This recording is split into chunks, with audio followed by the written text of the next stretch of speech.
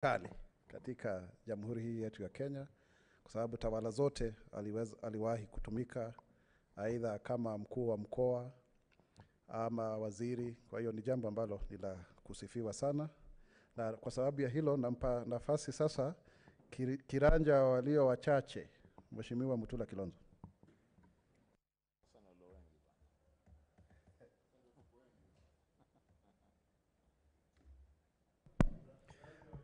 Kiranja walio wengi niambia huko ni Ina, inalingana na mienendo ya kisiasa. eh, mumepungua. Asante. Thank you. Mr. Speaker, allow me to condole with the family of Yusuf Haji and the people of Garissa on behalf of the people of Makueni and my family. Uh, Mr. Speaker, we have lost, I don't even think words can confirm, words are enough, as ma- many have said about the life and times of Yusuf Haji. Two, I don't think it's enough, and I want to say this I don't think it's enough to name a street after Yusuf Haji. I don't think it's enough to name a building after this gentleman. It's not enough. I think we must emulate the public service mantra i- that was part of his DNA. Mr. Speaker, it cannot be that you want to become a rich person because of public service. That is what are the lessons. That somebody can serve for so long and yet just walk away a simple man. The current public service is that you become a billionaire in public service. That is the current trend. If you are going to follow Yusuf Haji, then you must follow him truly. Number two, yesterday, Senator Wambua and I were left behind after everybody left, after we laid him to rest. This good senator, this gentleman who served in the public service, was laid to rest next to just another ordinary Kenyan. The humility, the humility and simplicity of our brothers, Muslim brothers and sisters, is something to emulate for all of us who have put, who have made burials a national event, a political event, a fundraising event, and everything else that is not godly. Mr. Speaker, this gentleman, and Mr. Speaker, this gentleman requested me at the beginning of this uh, session to be praying in my office. And for the longest time, Mr. Speaker, his mat was in my office. If you see me thriving, Mr. Speaker, it's because of the blessings of Yusuf Haji.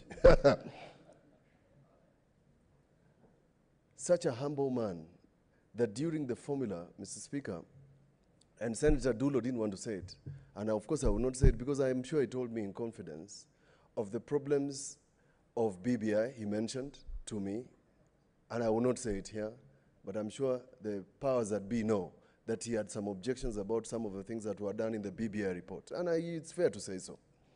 Number two, when the two, three senators were arrested, and I want to correct Senator Outa, the only reason why he kept media away from that committee was because there was an allegation against one of the senators that he did not want to be made public. That was the reason. And he confessed that to me in my office. The third one, he also confessed to me that the reason that we had problems between uh, in the arrest of the senators is a disconnect between the DCI and DPP. He said that also openly.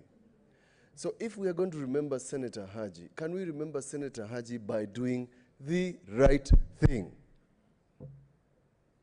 Not the politically correct thing, the right thing. But let me say this in terms of uh, mortality, I, of, of course, uh, never um, was never privy to some of the ceremonies that are done by our brothers from the Muslim faith.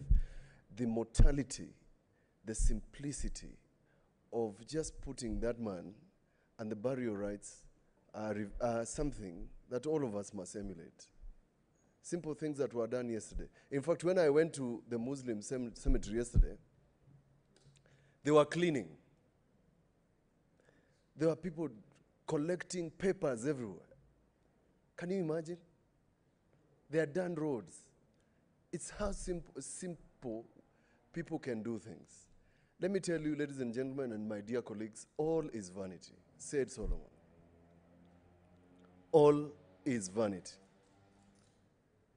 Vanity of vanities. Can we do the right thing in life and in death? And lastly, to say this a lot of us came here when we were very young.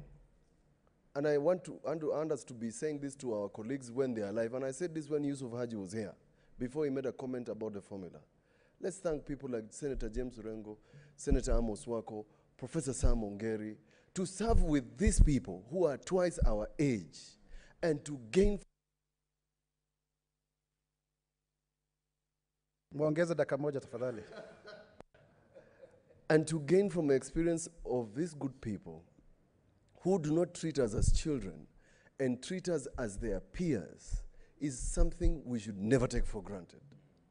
So we want to tell you, our dear older colleagues, we value your wisdom, we value your wit, we value your advice. Let's say this when you can hear. So that, so that all of us then have matured in this house and are treated as equals because of all of you. And thank you, Mr. Speaker, for the additional minute. May the good soul of this good gentleman, who will never replace, who I watched in Al- Yaliyotokea when I was in primary and served with him, may he rest in peace. You have asked for forgiveness. This man has been forgiven. I can assure you, for the good deeds he has done. Let us pass this Building Bridges initiative in his honor. That is the way to honor him. Because that is what he chaired. He can't have chaired a bad thing. He can't have. He couldn't have. And I'm talking to you, Naomi, Senator Naomi. He couldn't have chaired a bad thing. He would have refused. He never refused. And he went to his grave without saying a single thing that would have split this country. So let, let us build bridges in his honor. Thank you. Asante sana Mheshimiwa Kiranja, walio wachache nasikia unasema walio wengi, lakini takwimu hazidanganyi. Lakini pia umesema kwamba umemwombea pia dua kwamba asamehewe makosa yake kama vile alivyokuwa akiomba kwenye afisi yako. Seneta Naomi Wako.